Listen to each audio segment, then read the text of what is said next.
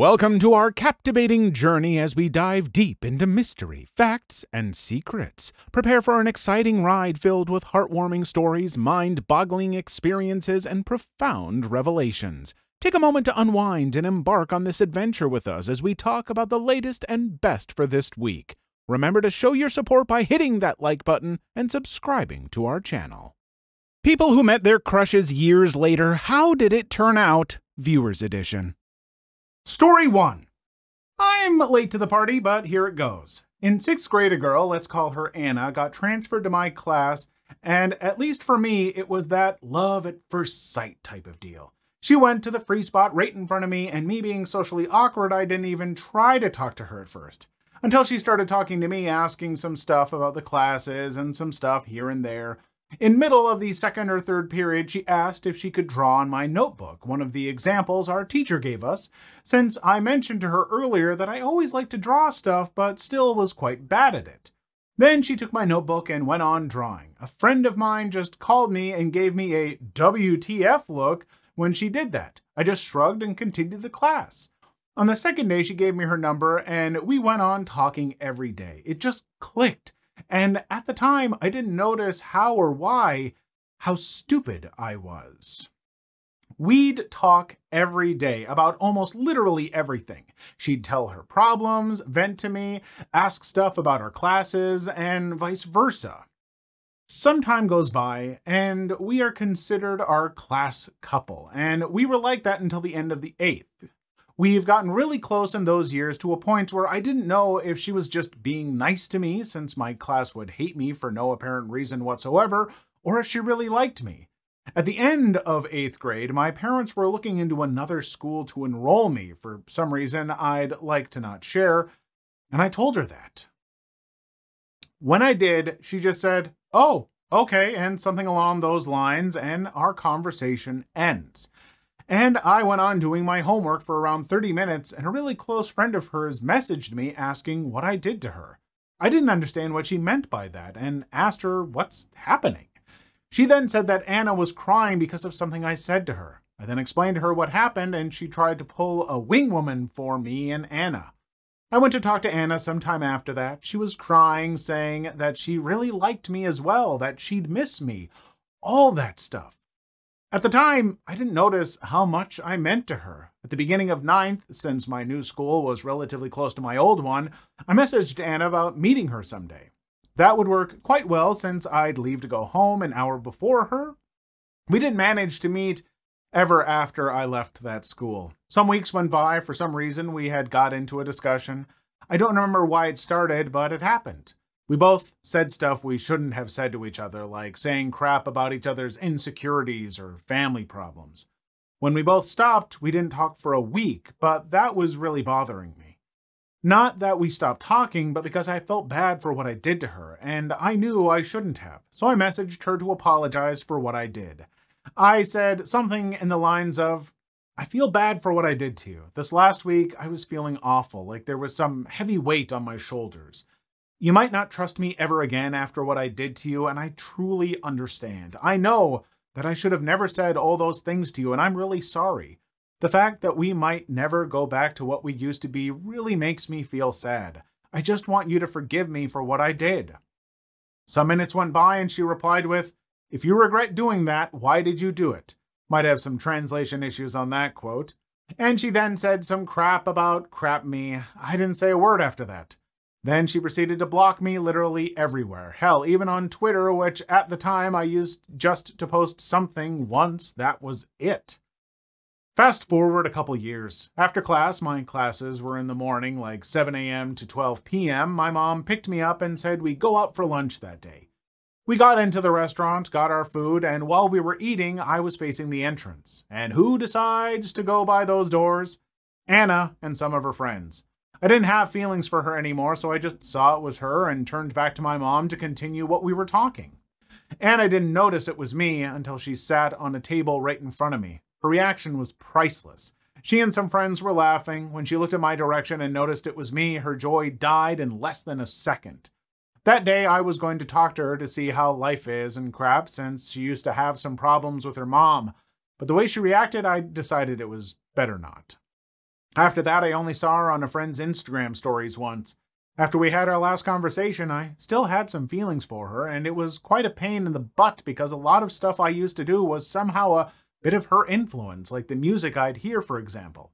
I remember the good times we had every time I hear Runaway by Galantis playing, since she was the one who chose the song our class would dance at the end of the year. Nowadays, I still remember her music, but I don't feel the same way. I really wish that we'd meet someday just so we could get things sorted at least. She was a really good person, and I hope she still is. I think that about the fact that people fall in love with three people in life and how she was the first one. I know because I didn't know I was in love with her until years later. Honestly, a pretty touching story about young love. It's, you know, usually uh, pretty temporary. It doesn't stick around, but the feelings stick around with you. They're so powerful. Like, love at that age is so all encompassing in ways that I don't think you ever quite feel again. Not to say like my partner, Madam Fact, like my love for her is incredible. I love her so, so much. But in high school, emotions just take you over, and that's rough. I don't know what you two said to each other that she blocked you on everything and would never even think about forgiving you, but the thing I I've never got that whole like, hey, I'm I'm so sorry that I did that. Well, if you're sorry, why did you do it in the first place? I don't know, cuz people make mistakes and can be dumb sometimes. It sucks, but it's the truth. I hope it wasn't that bad, and I hope you get that opportunity you talked about.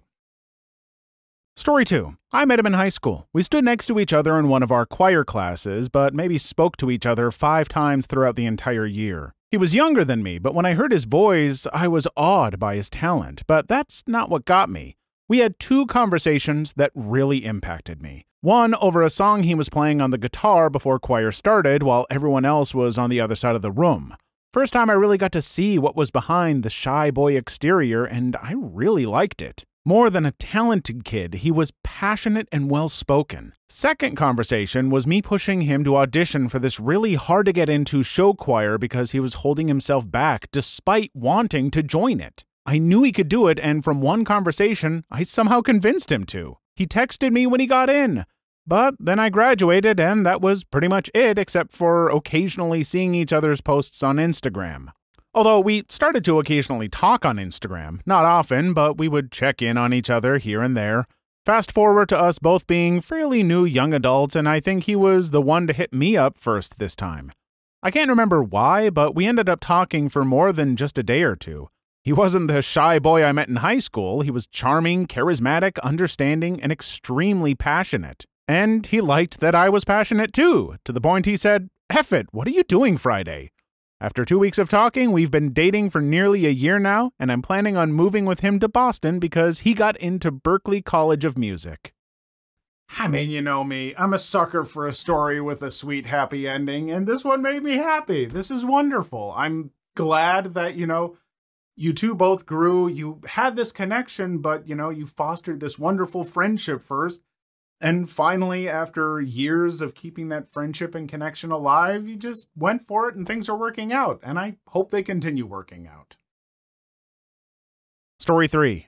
Well, there was this girl called Karen who I liked back when I was eight or nine years old. She was a dark haired girl with hair bangs and green eyes. I had a huge crush on her back then, and it turns out she had a crush on me too, but she left the school soon after, and we didn't see each other again until 2020. Anyways, many years passed, and I already had my girlfriend, now wife. So one day I was in the store and I bumped into Karen and we both recognized each other and we talked for a few minutes until I told her I had a girlfriend, which seemed to me like one. Her smile disappeared and she just said, Oh, and left. I didn't think much of it and didn't think much of it, so I left after buying everything I needed and that was it.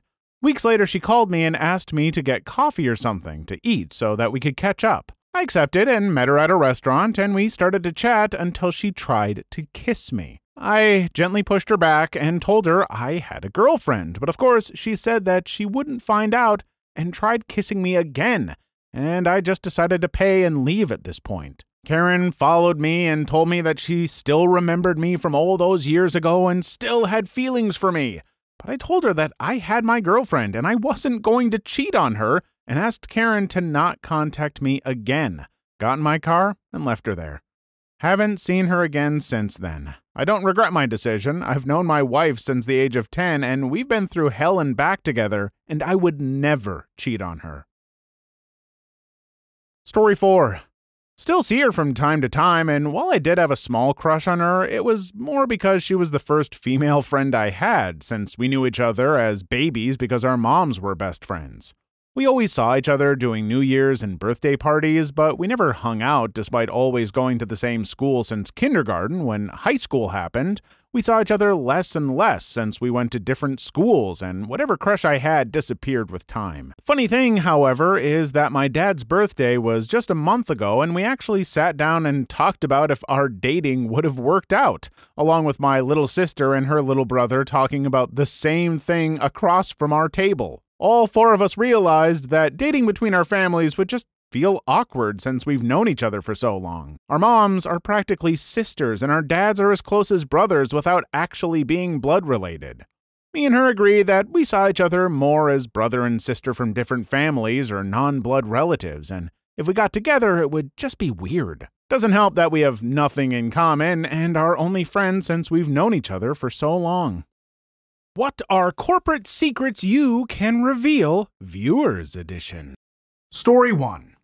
I worked at a family owned restaurant that also had a bar in a separate building just 10 feet away. The place is in the middle of nowhere, but I was happy to have my first job as a cook in their restaurant.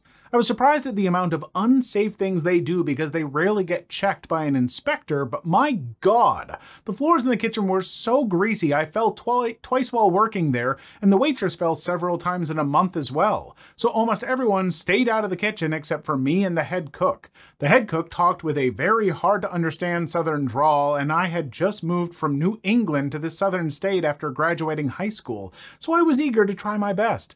He had more bad days than good days, quietly repeating angrily what he said, since I often didn't understand what he said, so as to not upset the people eating out in the restaurant. But he did teach me a lot, and I looked up to him as a teacher. The owner of the place was the dad of the family, but the mom ran the restaurant, and their son would often just show up for free food. Some nights I would deliver hot wings from the restaurant to the bar, and one night I had to play waiter for the dad as he had a game night with his friends in this secret room behind the bar. It was crazy, like a movie. They were sitting at a poker table with one light over it. A couple of girls were sitting on a couch in the corner smoking a joint while he and his friends smoked cigars talking about massive amounts of money they were gambling on this game. All the while, I'm in the corner waiting for what he wants me to do next. Eventually, one of the friends wins the first game, then they play a second, and one of the friends drops a small bag of weed on the table as his gamble. The dad wins the game and takes the money in the bag. They all get up to leave, and I begin cleaning the floor and resetting the chairs in the corner. The dad then heads over to the restaurant with me following behind with the dishes and gives the head cook the bag. The head cook stops me halfway through washing dishes and says, Follow me, gotta show you something. At this point, I'm nervous because I didn't want to smoke anything, but kept the thought to myself and walked with him.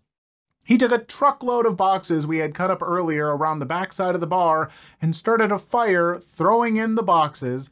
Then he looked at me, held up the bag of weed, and threw it into the fire. He said, If you want a good job someday, you stay away from this crap. He then drove home in the truck. I quit that job a month later, worked at a Sonic for a while, then worked at a hospital kitchen for two years, got my first job in manufacturing, worked at that for three years, and became a team leader and rework specialist. Now I work a different job as an operator on a corrugated digital printer for a box company. I still think about that night, how if I continued working at that job, if eventually the owner would have been giving that bag to me, and what I would have been doing with it. I would have still been living with my parents. I would be driving the same crap box car. I would still be making $11 an hour. Crazy how just a few words can shape up a person's code of life. Look, I make no secret about the fact that I am very supportive of recreational use of uh, the electric cabbage. However, it's not something that you should be taking for payment from a boss and that a boss should be like gambling on at their job and all that stuff. Like, that is not the place for that kind of stuff. And if your place of work is trying to do that, then, I mean, not great. So good for you for getting out of there and finding yourself a, you know, much better job, all that kind of stuff. And uh, for the rest of you, pretty good lesson to learn. Story two. I was a manager at Petco, the CAL, with a heavy focus on aquatics. Here's a little something for you. Because of how the systems are set up, the medications they use, and because of how their policies work for dealing with sick or infected fish, everything there is sick or carrying something. You'll never get a healthy fish from them unless you get there on delivery day and buy the vendor bag, and even that is iffy. There is no quarantining new arrivals. They go in with everything else, and you're only allowed to shut down a tank once an illness is noticeable in the tank and by that time, the whole stack has it. You're only allowed to shut down individual tanks for treatment. Shutting down a whole stack requires regional approval. And good luck if you have a bunch of tanks shut down and they come on one of their visits. I always have tanks shut down and frequently shut down stacks because I'm not going to willingly screw over customers. Our saltwater section was never remotely healthy. One bad order from Segrest or the lack of any real medications to get rid of diseases, and that was it. I fought with those systems for years and never made any headway because I was totally hamstrung by company policy. The freshwater stuff isn't any better. If you're an aquatic husbandry enthusiast, you probably should already know this, but always have a quarantine tank at home. Quarantine, observe, and treat any new fish you buy for six weeks before putting them with your other fish. It saves a ton of headaches and money if you're buying more expensive fish. We also had the policy of railroading a problem employee instead of firing them in hopes of making them quit. I wouldn't participate in that because it's been done to me several times due to me being autistic. 100% about pet handling too. It's actually in the policy you're supposed to do that, but there is never time for it when you're chronically understaffed and don't have the hours to put towards it. FYI, gerbils and other such rodents make awful child pets. I know that's how they're seen, but those little bastards are ferocious and easily leave scars. Well, I guess I feel uh, somewhat better about the fact that I think the one that we go to is Pet Smart. Is that one better? God, I hope so. Probably not. Oh, man. Big chains being in charge of the lives of pets and animals. Ah, it hurts me. It hurts me deep down a little bit. So, hey, folks, whatever you do, take care of your pets and maybe avoid, uh, you know, this stuff. I don't even know how you do it in some places, but do your best. Story three in my country, we have a very specific working rights, and I'm actually glad I don't work in the US because we are heavily protected by the law here in Brazil. My first job was as an ESL English second language teacher in a private school. I was hired mainly because my mom had worked there as an ESL teacher there, and I graduated in ESL and got a Cambridge certificate there. No experience with teaching, and I was literally studying arts in college at that time. I had quite a great time. I loved my students, and I obviously wasn't a perfect teacher, but I saw my students evolve, and I got really proud. Every day, my boyfriend at the time, who was also a teacher at another school, would pick me up or wait with me until my mom picked me up so I wouldn't be alone. Once the semester was done, I was told my boyfriend could not wait with me anymore because it wasn't appropriate, even though I avoided physical contact because, duh, children are there, and I was poorly trained, with no training at all. From 24 students and about just 400 Brazilian real per month, they took my classes from me and gave me one with three students. I would earn luckily 200 Brazilian real per month. The manager, first time managing and little teaching experience, literally said to me I just wasn't fired because she knew it was an issue with the training I had received. That absolutely broke me. I quit the same day, and when telling the story to my mom and boyfriend, both agreed it was a forced quit where they forced me to quit and lose all my working rights, get paid absolutely nothing for the unemployment, and get rid of me. Apparently, quite common in the teaching area here. My mom loved that school, and now all of us hate that place for forcing me to quit. Story 4 Former Walmart stalker here. A few secrets. 1. Fire exits were constantly blocked with merchandise and only emptied if an inspection was expected. Two, a lot of the older female cashiers, door greeters, and the like you saw for the longest time were women who hardly had a cent to their name who needed to work to support themselves. Some often worked until either they couldn't anymore due to advanced age or illness, or they simply died. 3. A significant number of younger female employees in the mid to late 2000s, to my discovery, were quite the wily ones. They could be highly perverted and or very touchy-feely. I've known at least two who were very eager, since they got to know me for one, to get belly rubs when they were pregnant. Three, social cliques among management and associates existed. They would cover each other's backs, but if you weren't in it, you couldn't get away with anything. Four, the facility that I worked at had a D Day veteran as a door greeter. He did that job until he died because he believed it was the last thing he could do to serve his country. Rest in peace, Vince. You will be missed. 5. Many females were passed up for promotion for whatever reason. Also, some female managers were known for risque behavior in the office behind closed doors and favoring male associates over other women.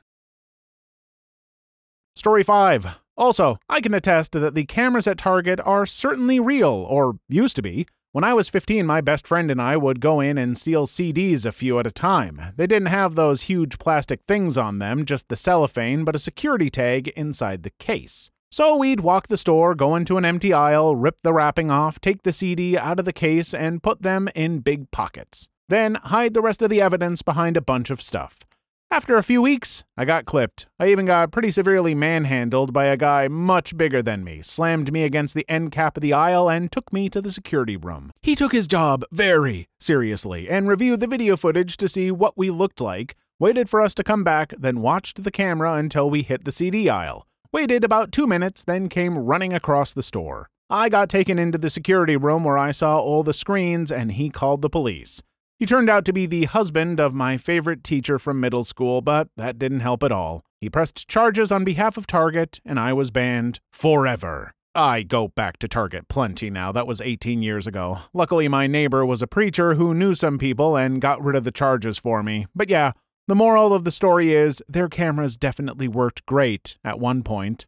You know, yeah, I I've grew up hearing those rumors like, "Oh, you see like those like bulb things up there that are supposed to look like cameras?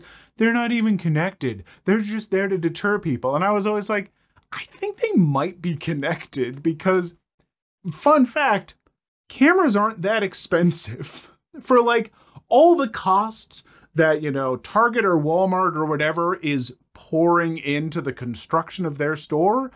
Some cheapo little security cameras that they got and like the storage space for them and stuff, especially these days, his it's a tiny fraction. So yeah, they work. Now, how competent the people are who are watching those cameras, I don't know. The opposite genders mysteries revealed viewer edition. Story 1 I unfortunately have one of these stories, but more a not me, but my brother. I was around 17 or so, and my older brother hated how I was during my monthly rite of female suffering, because I'd be a short tempered, cranky bee with a serious case of the munchies the former and latter he'd unknowingly worsened by eating all the comfort slash junk food in the house, so I was cranky and hungry and had nothing to sate the hunger, which made me crankier. I wanted to skip the make food part and get right to the eat food part, and everything usually had some level of preparation needed beforehand, like even just making an effing sandwich was too much work. He also had a habit of eating in the kitchen. His go-to snack after he had eaten everything else was several slices of buttered toast, so he'd make two, butter, and eat them while waiting for the next two to pop up, and repeat until he was full, and didn't like sharing space, so I would be cranky, hungry, and not have access to the kitchen to make food, nor be able to get a grab-and-go snack since he'd have eaten everything else and he would get cranky because I was cranky, and it was basically just a spiral of anger because of anger. So one day he asked my mom if we could put me on birth control because he believed they would pretty much turn my periods off. After having a small laugh at him, my mother explained how birth control actually worked, and I didn't need it since my periods are clockwork levels of regulated, and the only thing that would turn my periods off was me going through menopause or if I had my uterus surgically removed. He stopped complaining about them after that, but that was the only thing that he stopped doing. It also meant that whenever I was angry, it was a, Are you on your period? taunt. Sometimes I was, and would be like, Yes, I am actually. Thank you for noticing.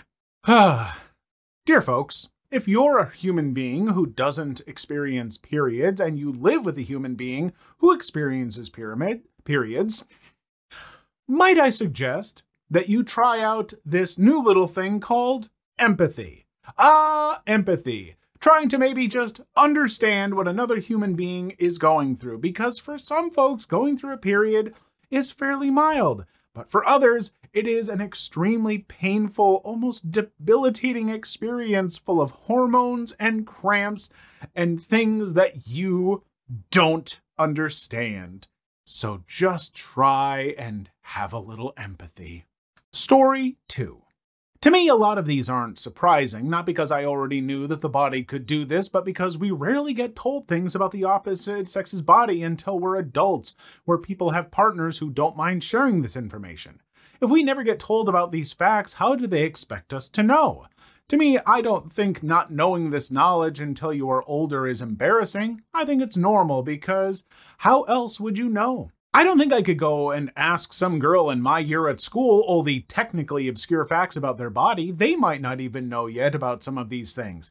I don't know, that's just how I see it. Anyway, I just don't think we should judge people for not knowing these facts until later on in life. Edit. I'm 12, by the way, so that's why I'm saying I can't just ask people in my class these facts. They are too immature slash embarrassed to tell me. I didn't know that I had viewers this young, and I, I maybe shouldn't. I don't know. I'm not a good judge of these things. Uh, ask your parents. Um, what I will say is, I think part of the big problem of this is a lot of these things should be taught in like what is referred to as intercourse education, health classes, stuff like that. They should be explaining this stuff. They shouldn't leave it obscured. They shouldn't not tell guys about things like periods and stuff. We should know these facts about human beings. It's part of knowledge. It should be part of the knowledge base. And also, parents should be having these discussions with their kids. Let them know. Don't leave your kids wondering about stuff or confused about things until they're in their 20s. Story 3. Story 9 isn't wrong. It's a skill that takes a very strong pelvic floor, but on particularly heavy days will at most only buy you time. It's far from an average, more a niche skill that a unicorn level of women achieve. It takes a lot of practice, and again, even once achieved, isn't guaranteed to be 100% effective. My friend is pretty good at it, but she was also a state champion wrestler in boys wrestling and continued to keep her core and pelvic floor conditioned afterwards. Also, to be clear, it's not possible to hold it indefinitely to let out whenever you want to use the bathroom. It's just a practice of feeling the movement before it actually exits, tightening the muscles and being able to stop it from exiting until you get to a toilet. My friend has about 10 minutes to get to the bathroom before it beats her. 7 to 10 minutes. The only real bonus to this is saving money on sanitary products by not needing to use them when you're at home. Story 4. I used to work at a telemarketing company and I was 19 to 21 and I worked with a lot of high schoolers like 16 to 18 and every time I would get my period I would always make it known because I have very very painful periods. I have endometriosis and have ovarian cysts and have had several burst. And I like to complain and anytime anyone would ask me what's wrong I would just start with, well, once a month and usually people stop me, but if they didn't, I would just keep talking about periods and explain literally everything to anyone who was close enough to be listening. And I educated so many teenage boys about periods and period products and literally as much as I could tell them in that shift. Like I once had like a 2-hour conversation with three teenage boys about what happens, pretty detailed recounts, and how to deal with a period and what they should do when their girlfriend or sister or any woman in their lives gets their period. Story 5. I'm a guy, so it may come as a surprise, but I didn't know what circumcision was until college, age 22. I knew it existed, I just didn't know what it was. I saw the A and B photos, but couldn't tell for the life of me which was before and after. One day, a classmate showed me a video of a guy peeling a banana, but just the tip. I finally learned what foreskin was, and I learned that it's more of a peeling than a slicing, which for me is somehow more painful. It all clicked at once, and I started crying. Our professor looked at me and was confused. Once he explained what just happened, he responded, Really? Just now? Not upset, just genuinely surprised. I was honestly kept in the dark about this stuff too until I was like a teenager. I didn't realize that there were people who were not circumcised. Like, that to me was just like, wait, what? Like, eventually I saw a picture in like some health book in like junior high or high school, and I was like, wait, what? What the hell's going on? That just, that's not right. Story 6. I must say that a lot of this is quite interesting to me, mainly because even if I'm a guy, I've been told countless times that I think similarly to a girl but act like a boy. That concept may sound a bit weird, but basically, I have the general thought process that a lot of women have, though my actions reflect more that of a guy's impulse, and with this strange situation, half the time I don't understand where different unspoken rules come from with the opposite gender or my own. So it's been interesting for me to hear information like this from time to time. Which, to clarify, I'm mostly talking about the stuff revolving around general behavior, not any anatomy based answers. Story 7. I'm a guy. When I was around 20, a 60 ish year old guy randomly asked why chickens laid eggs that hadn't been fertilized. That's actually a reasonable question. I went on to explain it by comparing it to human women having their period, which he interpreted as me saying women laid eggs. He said, I've been around a lot of women in my life, and I can tell you women don't lay eggs. He laughed and literally refused to listen to the explanation then or in the future. To men or women who don't know, a menstrual cycle is your body getting rid of an unfertilized egg cell. Story 8 it's funny because I grew up with two sisters and a mom who didn't find health related talk of genitalia disgusting. I knew most of this growing up. Mom's a nurse, you kind of get used to gross stories. However, it took me an embarrassingly long time to learn I was circumcised as a baby. Most of my life, I could not figure out what a foreskin was. Story 9. I remember I had to educate my aunt that the pee hole and the baby hole were two different holes. I'm a boy. My intercourse ed class was actually super good because I know a lot about my junk and female junk as well, and I'm not ashamed or grossed out in any way. I don't usually get grossed out. I think it's important to know these things. Also, growing up with mostly girls in your house is good, I guess. My family only creates one man every generation, lol. I wish I had a brother, though. You know, honestly, this is a fairly common one that I've heard about where there are women who do not know that about their own body, which to be fair, it's not in like a easily examinable place. and the fact that it's not being taught to them in like, you know, intercourse education class is ridiculous. People should be getting taught this stuff and their parents should be telling them these things. But yeah, I mean, if they're not, folks, guys, gals, non binary pals, mirrors exist. Find out about your own body. You might learn something, but just, you know, keep it to yourself. Well, wait, keep it to yourself until you have kids and, you, and, and educate your kids. What's a fact, but nobody understands it correctly? Viewer edition. Story 1 the Monty Hall problem sounds complicated, but it's not that complicated. There's three doors. Two have a goat, and one has a car behind it. You want the car. Host asks you to pick a door. Then they, they then open another door that has a goat behind it to reveal a goat. So there's two doors left. Your door and the other door which isn't opened. One door has a car behind it, the host asks if you would like to switch doors. The question is, does switching doors have any difference or is it just 50-50? The answer is if you the answer is if you should switch doors, you'll have a 2 out of 3 chance of getting the car. It seems wrong. It doesn't make sense at first, but the explanation is below. When you first pick a door, you have a 2 out of 3 chance of picking a goat, so you've probably not got the car. Then the doors are reduced to two, one which has a car and one which does not. Now, we've established that there's a 2 out of 3 chance you didn't pick the car, which means there's actually a 2 out of 3 chance that the other door you didn't pick has the car behind it, and so switching doors gives you a 2 out of 3 chance of getting the car. I can play it out below if that still doesn't make sense. So there's three doors called A, B, and C. Let's say door C has the car behind it, so you pick door A. the host reveals a goat behind door B. If you switch to door C, you win the car. If you pick door B, the host reveals the goat behind door A. If you switch to door C, you win the car. If you pick door C, the host reveals a goat behind either door A or door B. If you switch, you don't win the car. So two out of three times you won the car by switching. Not switching only gives you a one out of three chance of winning the car. I'm not gonna lie, I wasn't convinced at the start of the explanation because I've heard this problem before and I'm like, I guess it makes sense in math, but it doesn't make sense logically. But I don't know, for some reason, that explanation kind of convinced me. I'm, st I'm still not 100% sold. I still think that you mathematicians need to just chill out. hey folks, did you not get the Monty Hall problem? Well, guess what? Story two.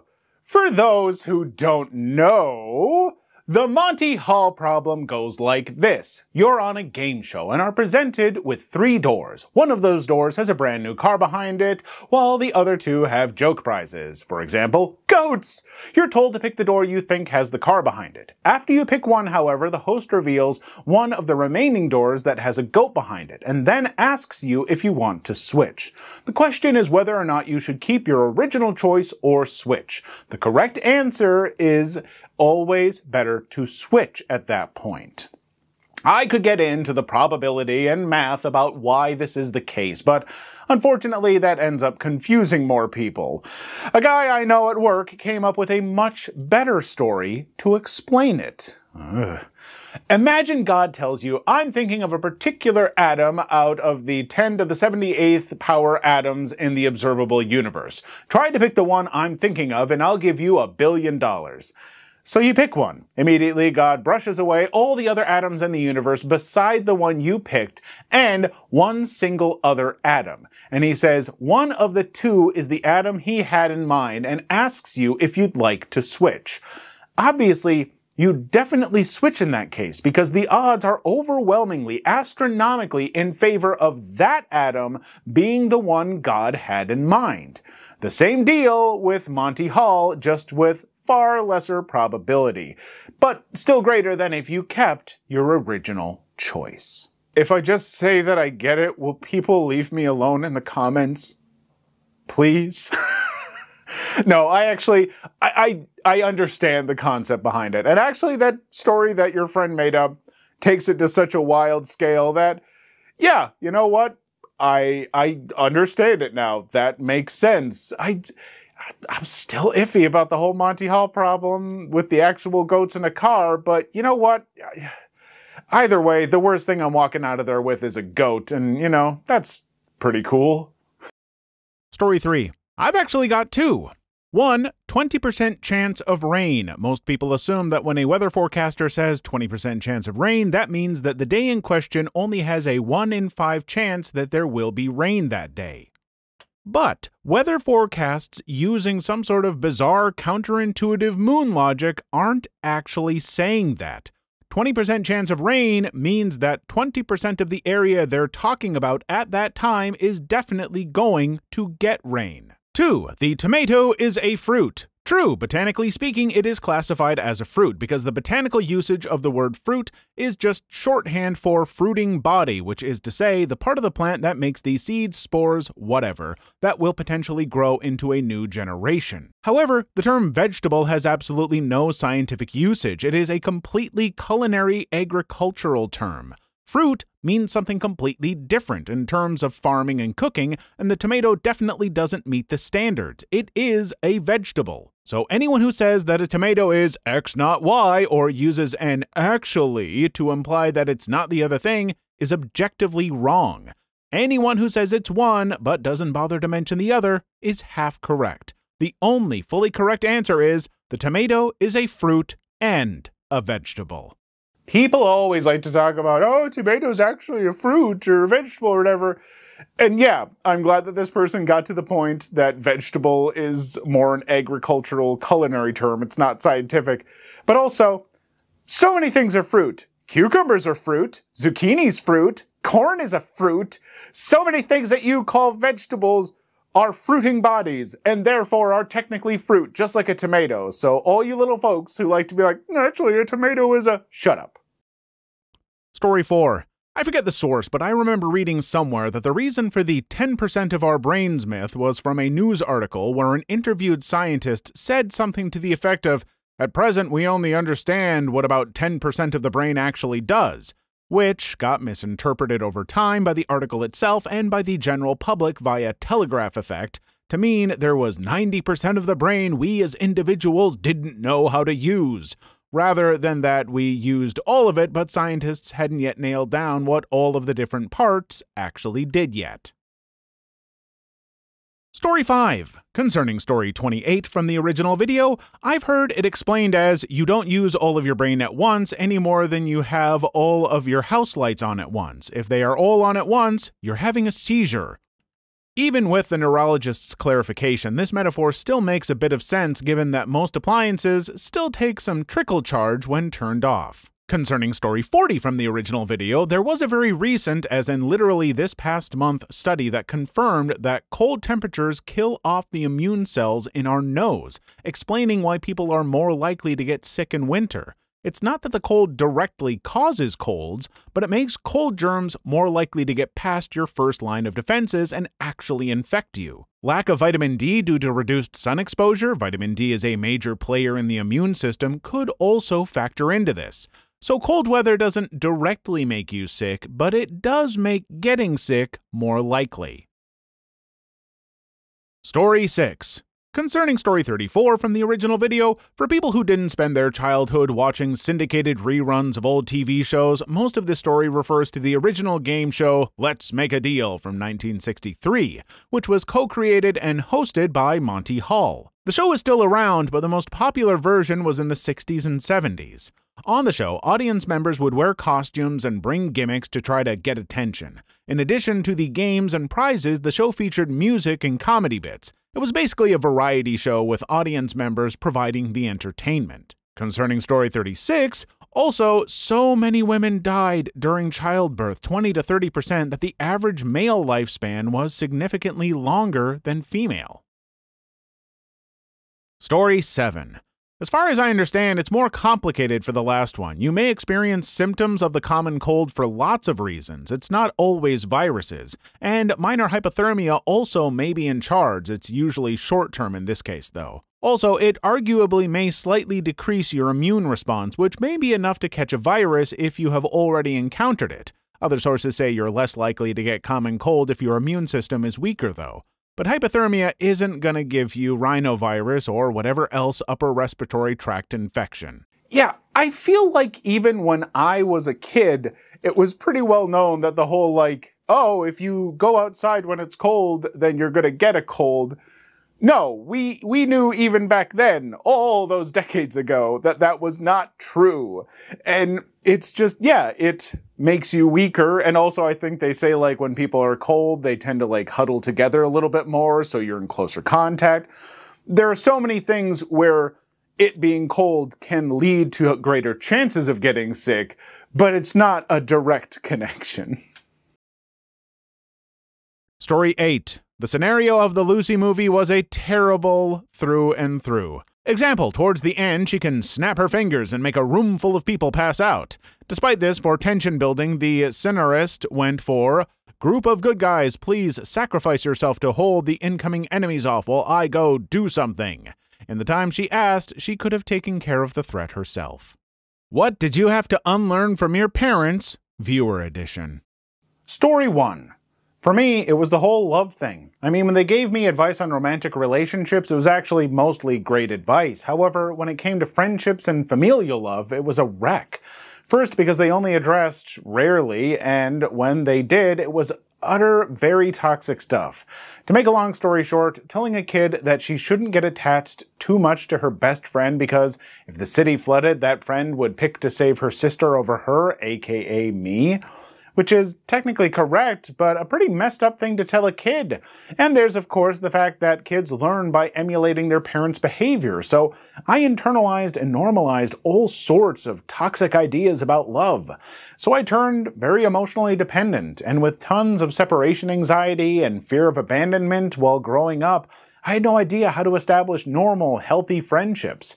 I also came to not care about my extended family in the slightest. My relationship with my nuclear family is also very broken. For years, I tried to justify their whole now I love you, now I don't thing. So by the time I got myself a girlfriend and friends who could understand my situation better, it was really a shock for me to learn that love isn't conditional and that rather than a scorching flame, love of any kind is more like a slow burning fire. Love is meant to give you stability and comfort, not to keep you on the verge of a panic attack. Of course, romantic love has passion added in the mix, but that's the thing. Passion and intensity is there to spice it up, not to completely overtake the meal, so to speak. Oof, yeah, there's, uh, I think a lot of people have a lot of, you know, wrong ideas about different kinds of love, and I'm no expert on this stuff, but, uh, really what the OP is saying here is pretty solid advice that I think a lot of folks could learn from. So, yeah, uh, listen to them. Story 2. My parents taught me to come to a rolling stop at stop signs. For those who don't know, a rolling stop is where you slow down but don't come to a complete stop at a stop sign. The way you can tell you came to a complete stop is when you feel the car jerk back slightly. Then wait for a couple seconds, then go. I flunked my first go at my driver's test with the DMV, with that being one of the major factors as to why. Ever since then, I would come to a complete stop at every stop sign, even if other drivers behind me got mad.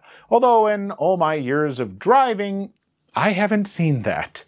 However, there are some times when you do need to do a rolling stop. Myself and many other motorists just has to deal with that yesterday, in fact, when we were hit by a snowstorm that dumped 8 inches of snow on us. The roads were covered, so in order to maintain traction, we'd have to come to a rolling stop instead of a complete one. But in most cases, just come to a complete stop. You'll avoid getting in trouble with the law that way. Look, if we want to start going over all the ways in which people don't obey the rules of the road and just do whatever's close to the law, that's going to be the whole video, honestly. Um, the roads are a wild place, but yeah, I would say this is a pretty important one. Just getting used to fully stopping. Uh, just do it. It's it's going to cost you what? An extra second or two? Are you really that busy?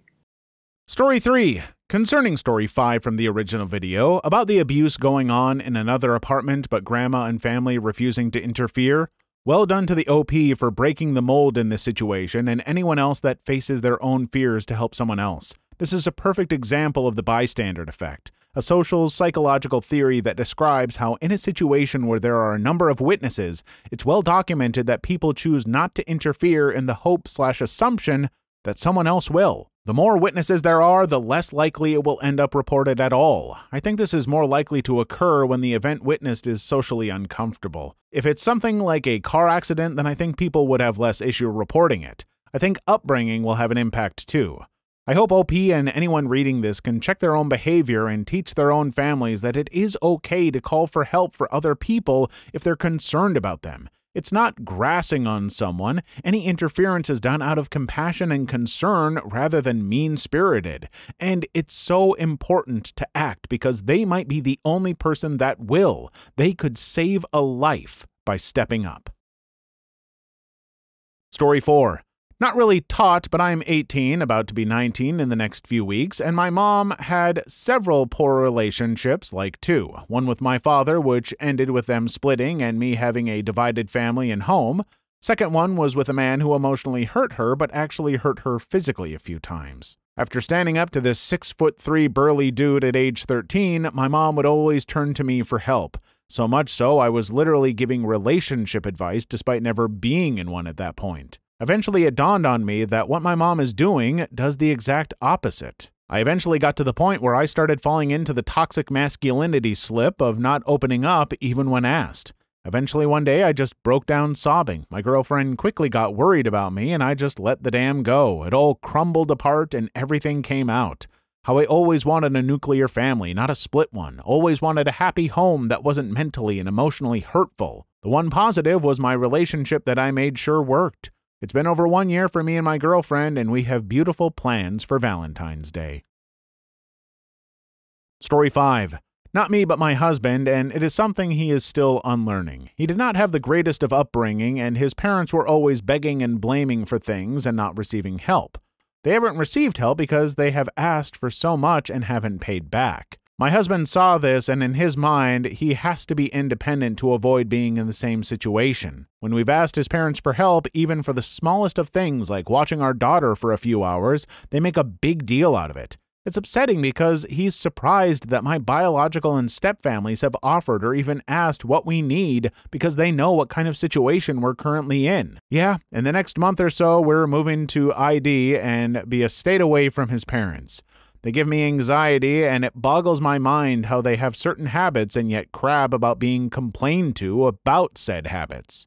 I think there are a lot of parents out there that struggle with dealing with teaching their child, like, how much self sufficiency and how much asking for help is okay. And obviously, some parents are going to have their own messed up ideas about, you know, how much of either you're supposed to do. But like, I know uh, with my dad and stepmom, they really tried to teach me to be self sufficient. And in some of my early days when I made some mistakes, they basically left me like, hey, well, you're to have to figure it out. You screwed up.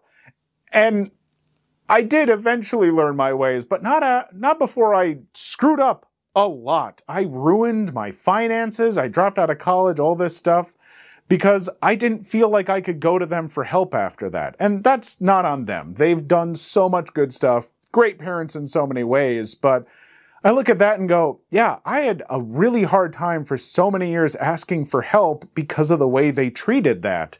And I'm glad that I'm not like that anymore.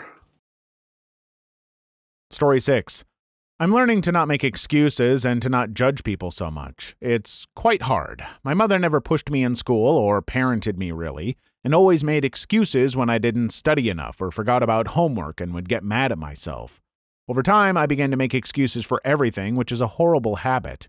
I understand that she was doing it out of love, but still wasn't great. As for the second one, she most definitely inherited judging people constantly from her narc mother and judgmental as F family. I love them, but wow, they can be judgmental and care heavily about their looks. I honestly don't get why she's like that, seeing as she went from wealthy family to disability with a slob as a husband, which they still judge her for. At this point, though, I'll always be judged because of my scars, piercings, and gothic clothing, so I try to focus on myself.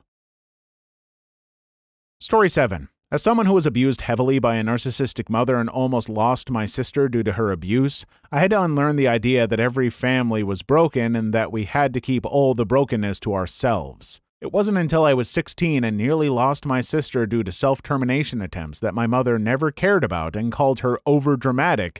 I knew that enough was enough and did everything in my power to get help. My mom has since died due to cancer, and my sister has gotten so much better and has unlearned many tendencies we developed from being raised by her. But to this day, my sister says that she wouldn't be alive if it wasn't for me, and my dad to this day keeps trying to make it up to both of us for being so wrong. Story 8 my mother put me in foster care as a teenager, so I unlearned everything pretty quickly since telling them how you're feeling will eventually almost immediately be used against you. LaVey was my role model for the longest time until I was punished for believing his ideals. Then I just became emotionless and quiet, and then they tried diagnosing me with being a psychopath, which in reality I just didn't tell them anything and didn't show any emotion because everything I said and did, whether publicly or privately, was going to be used in some way to punish me. Group homes suck. They claim they're helping the mentally handicapped, but they're just using us for a paycheck and very often a punching bag. The best thing you've seen a gang do, Viewer Edition. Story 1. My mom's brother David was in a motorcycle club, and I've got two stories related to him.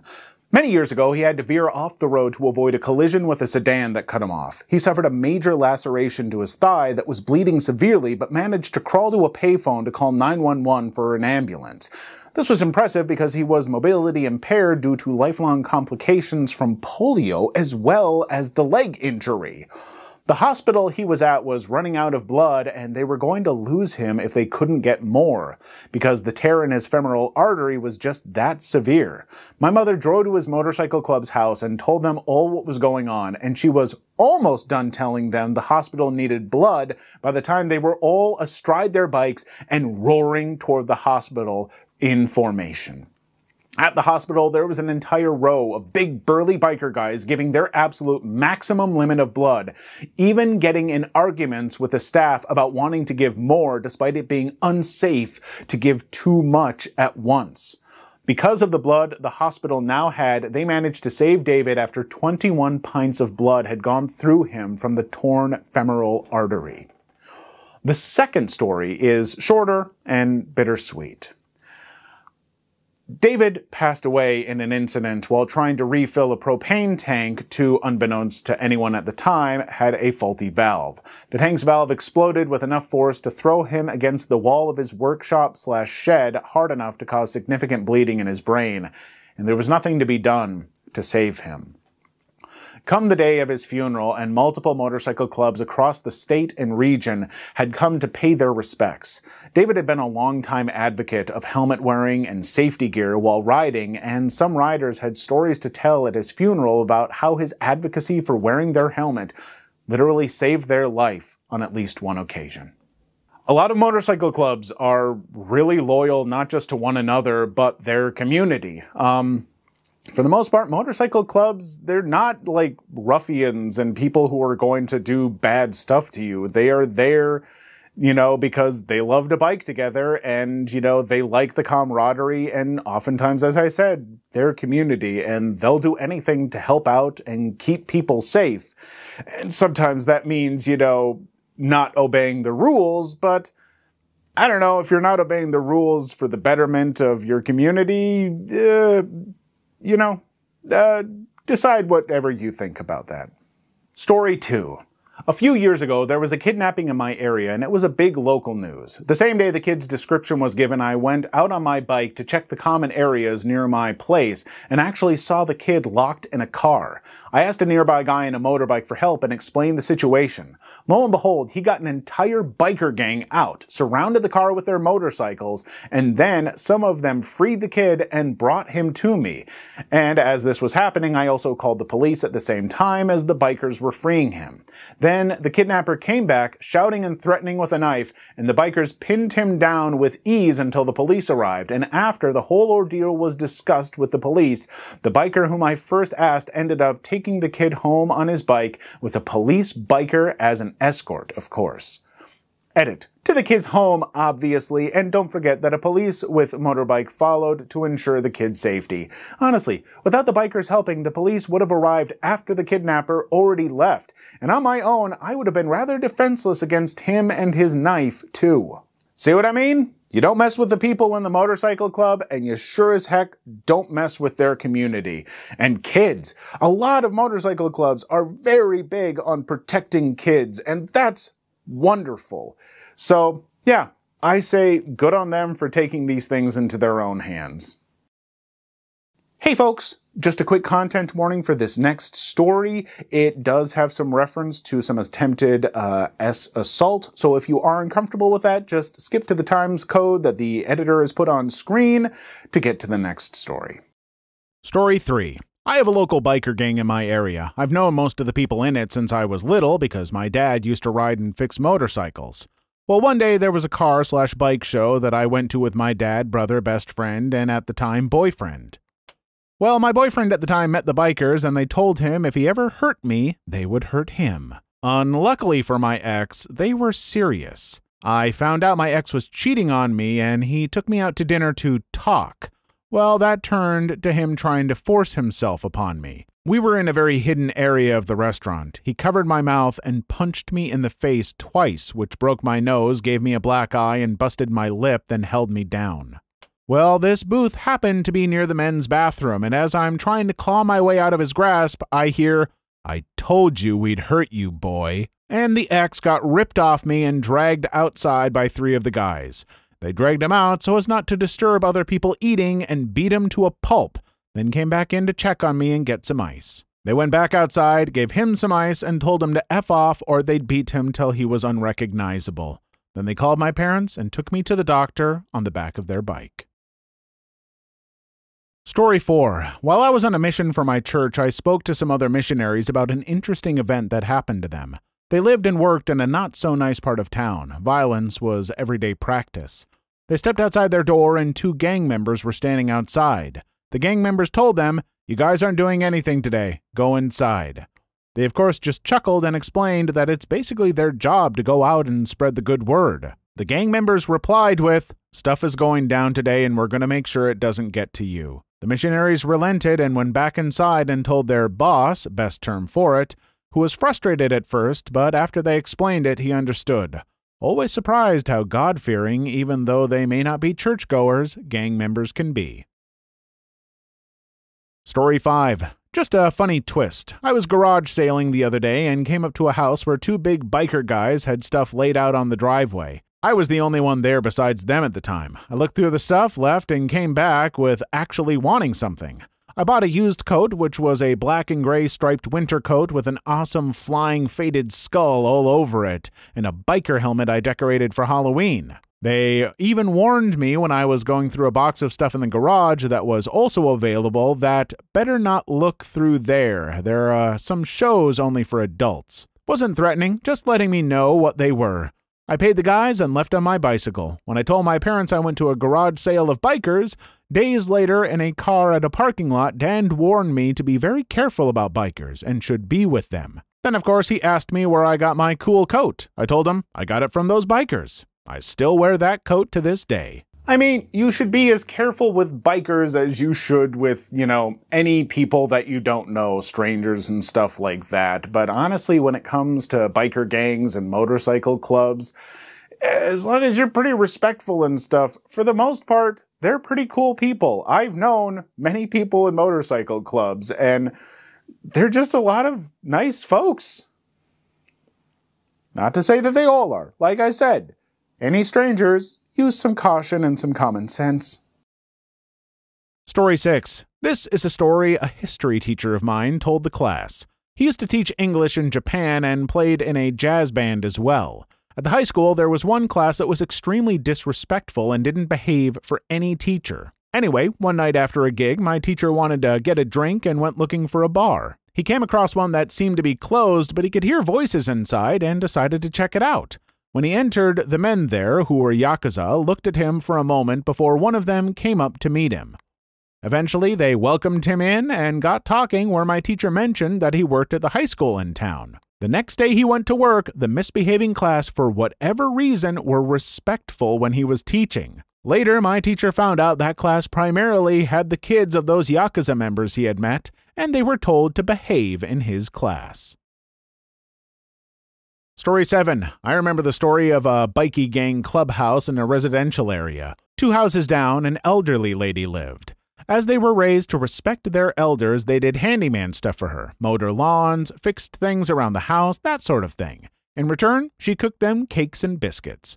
One evening, a lowlife thought this was a good place to do a home invasion. The bikies heard her scream, and four of them jumped the fence. One made her a cup of tea, one stood with her to make sure she was okay, another called the cops, and finally the last one had grabbed this thug, frog marched him outside, and threw him to the ground. With a knee to the thug's back, he was warned, You move, you die. When the cops arrived, they shook hand with the bikies, thanked them for the easy arrest, and left. Story 8.